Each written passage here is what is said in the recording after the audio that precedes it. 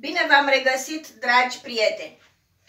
Astăzi voi pregăti chișcă sau caltaboș. La noi în Bucovina îi se spune tradițional chișcă. Astăzi voi face chișcă cu crupe de hrișcă și cu orez. Am pregătit pentru asta 2 uh, kg de burtă de porc, deci este uh, slăninuța de pe burtă, pe care o voi tăia cu bulețe, o voi topi și voi uh, prăji în ea ceapa, 2 kg de ceapă, o jumătate de cap de porc, 1 kg de ceafă, un kilogram de carne de lucru, trebuie să fie puțin mai grăsuță, un ficat întreg, două inimi de porc, un plămân, doi rinichi. Avem și un kilogram de hrișcă și un kilogram de orez. Orezul obligatoriu trebuie să fie cu bob rotund pentru că cel cu bob uh, ascuțit uh, nu, nu este folositor pentru că nu arată bine în chișcă și nici nu se leagă cum trebuie. Trebuie să fie un orez cu bob rotund ca să iasă chișca sau caltaboșul uh, legat și să se poată tăia frumos. Condimente. Foi de dafin, enibahar, piper. Nu punem foarte multe condimente pentru că gustul trebuie să fie cel specific al uh, cărnii de porc și al organelor de porc. Toate astea, capul de porc, plămânul, rinichii, uh, ceafa, carnea lucru, fi, organele, ficatul, inima, le vom pune la fiert cu foi de dafin, boabe de enibahar și boabe de piper și o ceapă bineînțeles, și puțină sare. Sare neiodată. Le vom fierbe, apoi le vom da la răcit și le vom măcina prin mașina de tocat carne.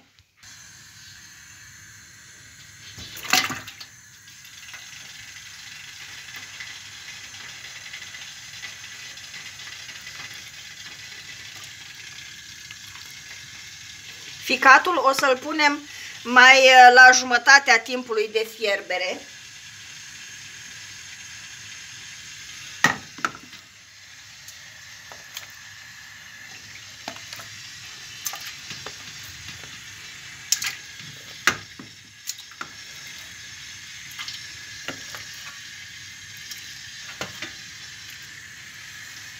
După ce pun uh, organele la fiert și carne, o să completez cu apă cât pot de mult, pentru că o să am nevoie de lichid și la opărit crupele, și la opărit orezul, și la fiert chișca, se fierbe în apa în care au fiert uh, organele.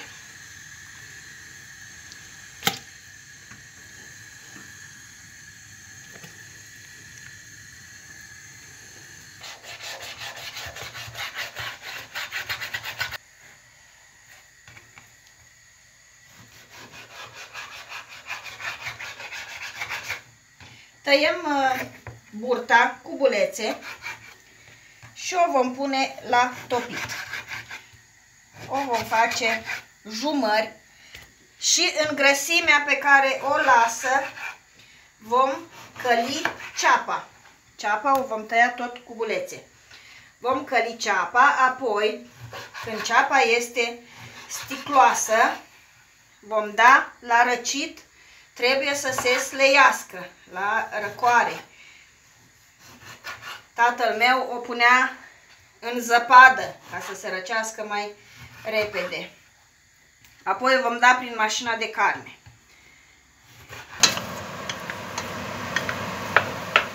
Am pus burta la topit. Acum așteptăm încet, încet să se topească.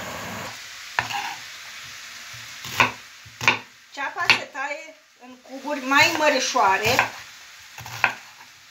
că oricum uh, o să o tăiem și prin uh, mașina de tocat uh, carne după ce se slăiește.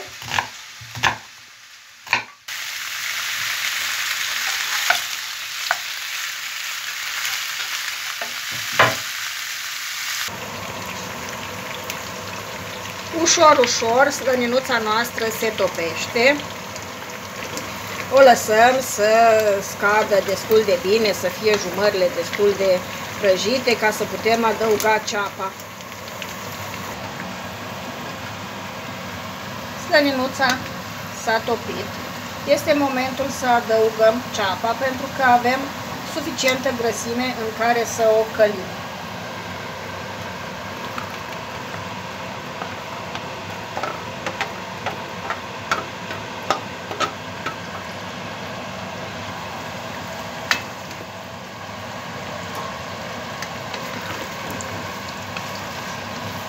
O lăsăm să se călească până devine sticloasă și se înmoaie.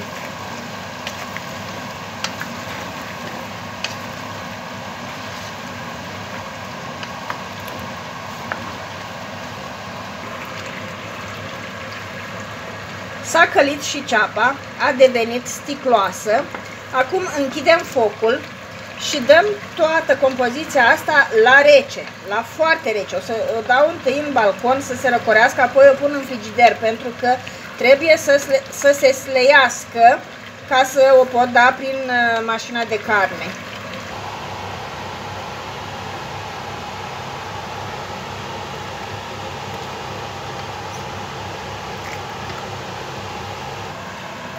Am uh, măcinat uh, rișca și am făcut-o crupe, iar acum punem crupele la prăjit într-o tigaie, deci le, este un prăjit uscat, doar sub acțiunea căldurii.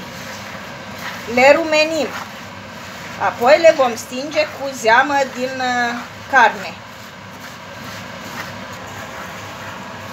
Dragii mei, am rumenit crupele până au devenit maronii și sunt foarte fierbinți. Acum voi adăuga puțin câte puțină apă din uh, oala din car uh, unde fierbe carnea, încet, încet, treptat, astfel încât să le dau posibilitatea să se umfle, să se hidrateze și totuși să-mi rămână compoziția destul de vârtoasă, nu foarte moale. Trebuie să, să fim foarte atenți cu cât uh, lichid adăugăm.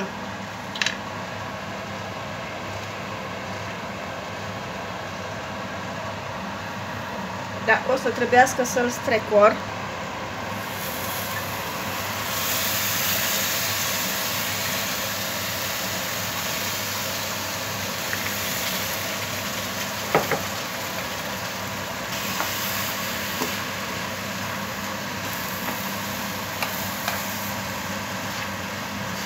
Putem închide focul puțin ca să nu se ardă.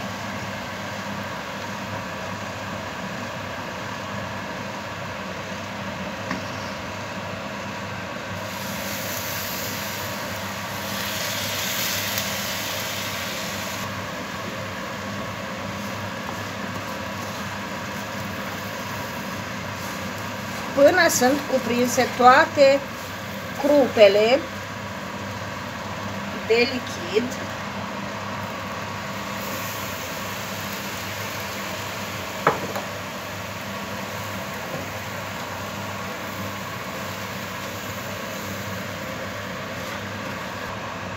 Adăugăm un praf de sare, astfel încât crupele, când se umflă, să absoarbă și sarea. În felul ăsta vor fi mai gustoase.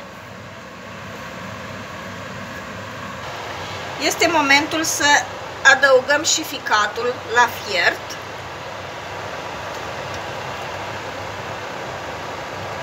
Pentru că restul cărnii este aproape gata, dar o să-l mai lăsăm uh, vreo jumătate de oră să fiarbă toate împreună, până vedem că se desprinde carnea de pe oase de pe capul de porc. am opărit crupele, am adăugat treptat apă fierbinte în clocot, clocotită din uh, zeama unde fierbe carnea, până simțim că uh, s-au înmuiat. Trebuie să fie suficient de moi, astfel încât să mai aibă loc să se uh, umfle și să devină uh, fragede, dar suficient de vârtoase încât să nu uh, fie compoziția uh, prea moale. Acum voi proceda la fel cu orezul. Îl voi rumeni. Și la fel voi proceda, îl voi umfle cu, umfla cu lichid din uh, zeama de la carne. Am rumenit și orezul. Priviți cum trebuie să arate. Ușor gălbui. Acum voi închide puțin ochiul ca să nu mi se ardă și voi trece la aceeași procedură de hidratare ca și la crupele de hrișcă.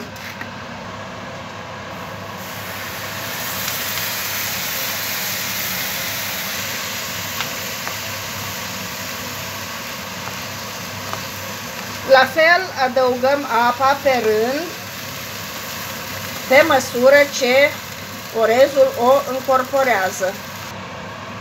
La fel adăugăm și un praf de sare ca să fie mai gustos.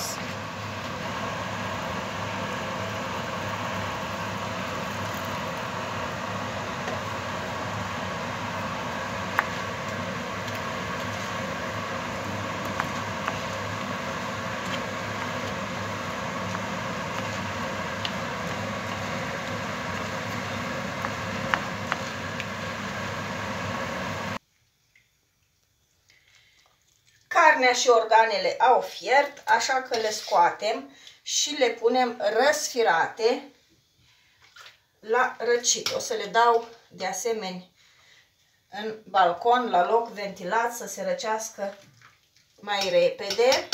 Apoi le vom tăia bucățele și le vom da prin uh, mașina de carne.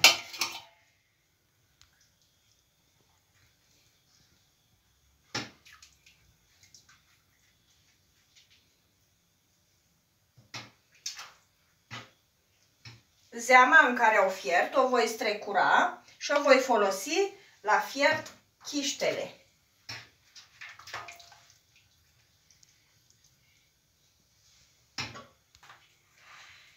Am terminat cu carnea de pregătit. Am scos-o de la fiert, am lăsat-o la răcorit, am tăiat-o bucăți și am pregătit-o pentru mașină. Am pregătit mașina cu toate accesoriile, și este gata de uh, măcinat. Prăjeala cu jumările și ceapa este slăită, hrișca și orezul pregătite, condimente avem sare, piper, enibahar și nucșoară. Nu punem mai multe condimente, sunt suficiente pentru acest preparat. La chișcă mergem mai mult după gust la condimente, nu cu cantități exacte, pentru că uh, sare am pus puțină la fiert ca să iasă carnea mai cu gust. Am pus puțină sare când am umflat uh, crupele de hrișcă. Am pus puțină sare la umflat orezul, pentru că toate trebuie să fie uh, cu puțin gust. Dacă una este nesărată, atunci tot preparatul va fi uh, fad și fără gust.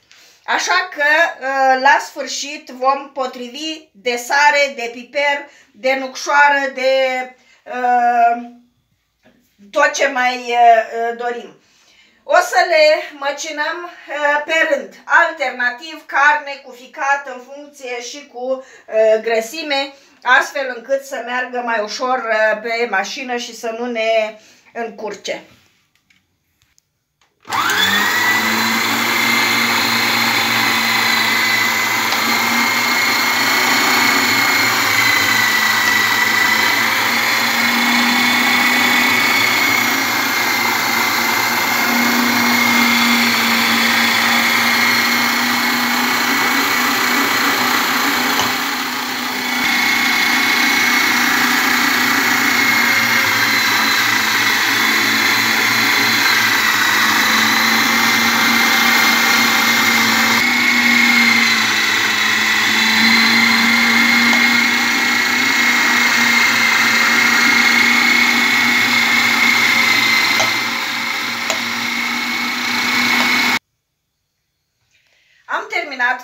de tocat uh, carnea. Acum o voi pune într-un recipient mai mare și o voi amesteca pe toată. O voi asezona și voi potrivi gustul cu sare, piper, ielibahar și nucșoară.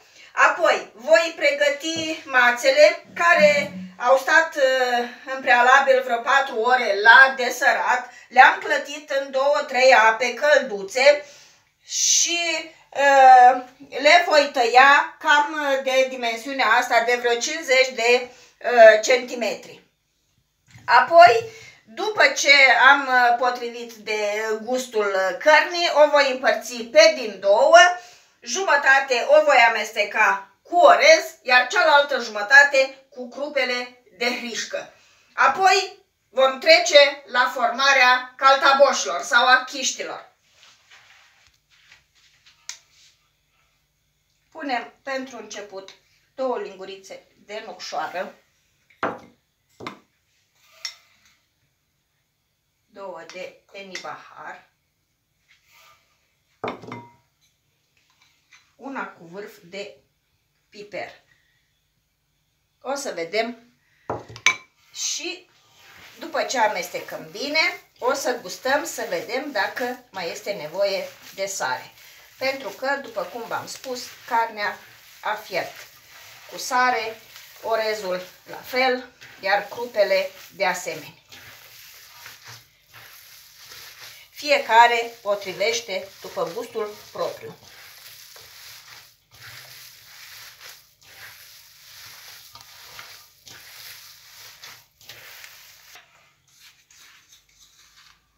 adăugăm și o linguriță de sare. O să pun nucșoara toată și o să mai pun puțin piper și un pic de enibahar.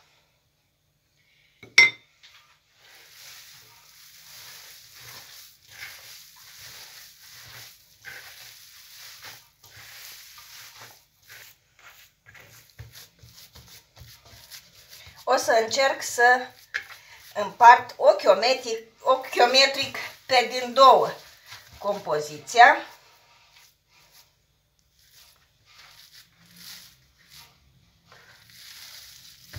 Jumătate o pun deoparte, iar cealaltă jumătate o opresc aici și voi adăuga orezul.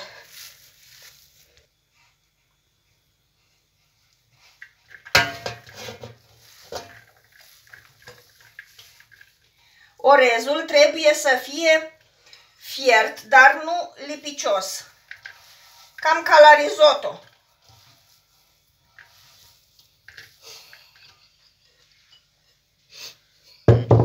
Bună comparație. Amestecăm. Și bineînțeles că o să mai potrivim gustul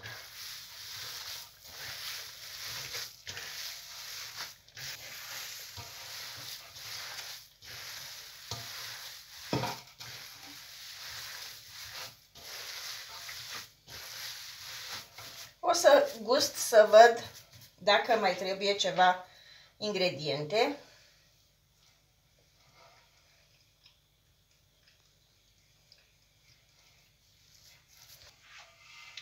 Pregătim și compoziția pentru chișca cu crupe. Vedeți că și crupele sunt aerate, nu sunt lipicioase.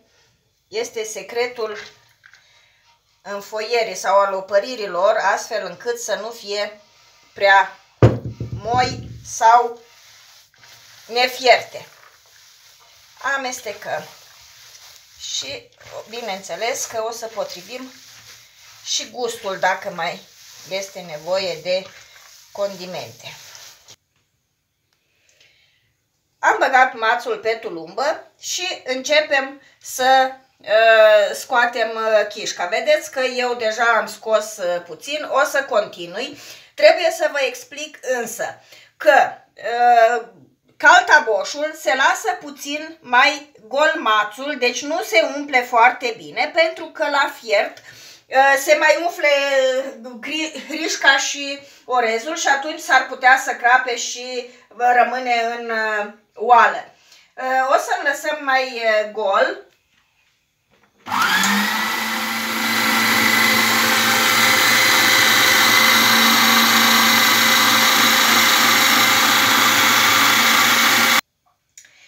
O să vă vină mai ușor dacă lucrați în echipă așa cum lucrez eu cu uh, Radu, pentru că uh, este nevoie de patru mâini la această operațiune. Când uh, s-a umplut uh, mațul, pentru sigilare este suficient să rotiți de câteva ori caltaboșul și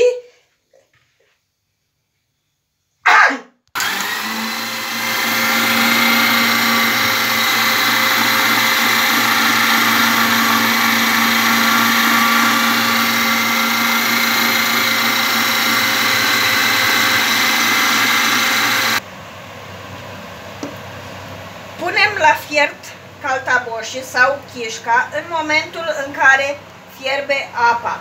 Nu trebuie să clocotească, trebuie să fiarbă la foc mic. Pentru că am răsucit mațul, nu este nevoie să-l legăm cu ață, pentru că la fierbere el se va strânge și compoziția nu va ieși din maț. O să punem câte două odată, pentru că trebuie să stea răsfirate, să nu fie înghesuite ca să nu se spargă.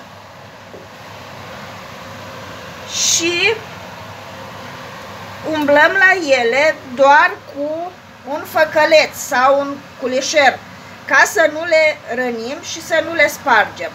Când se ridică deasupra, sunt gata.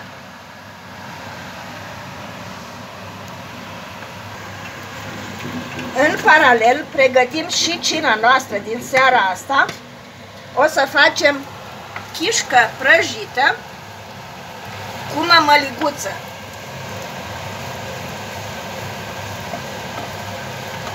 Radu și-a pus aici o chișcuță la prăjit și a pus și de mămăligă. Eu rămâne doar să mă ocup de ele cât timp supraveghez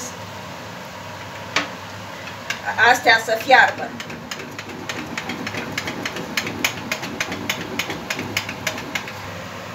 Priviți cum s-au ridicat deasupra, înseamnă că sunt gata. Ele nu necesită decât opărirea mațului, pentru că toată compoziția este fiartă.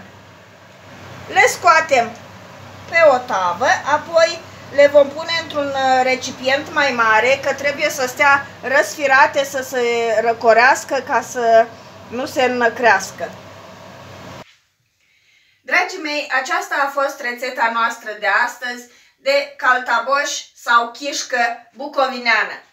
Uh, trebuie să vă precizez că această rețetă este rețeta pe care o făceam împreună cu tatăl meu, este rețeta familiei noastre, Uh, sunt uh, diferite rețete sau uh, moduri de preparare a caltaboșilor. Noi pe asta o preferam și asta mi-aduce aminte de copilăria mea cu drag. Am pregătit și chișca prăjită cu mămăliguță, o vom servi cu lapte acru. Noi ne vom bucura de roadele muncii noastre iar uh, pe dumneavoastră vă invităm să încercați uh, rețeta, vă invităm să vă abonați canalului nostru de YouTube unde veți găsi rețete delicioase și uh, simple și tradiționale. Dacă ne-ați urmărit, vă mulțumim pentru atenție și vă invităm într-un nou vlog la o dată viitoare. Până atunci, noi vă spunem toate cele bune!